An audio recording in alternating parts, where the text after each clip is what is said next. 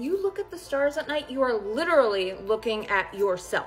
I do not mean this metaphorically. We all know Carl Sagan said that we are all made of star stuff. The stars had to die to create the elements that created us. We're carbon-based beings made from dead stars.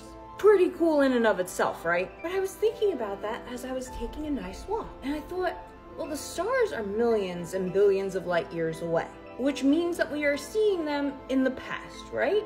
We are seeing million year old stars as they were in the past.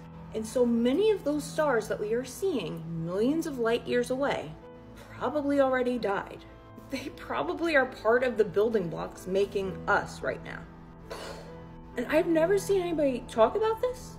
And so I was kind of like, am I missing something? I can't find any holes in this theory, and yet I don't know why nobody would have said it before. Because it is so beautiful. I feel like it checks out, right? Nevertheless, it's a beautiful thought. We are literally made of the stars that we look at at night. That's like the most beautiful thing I could think of.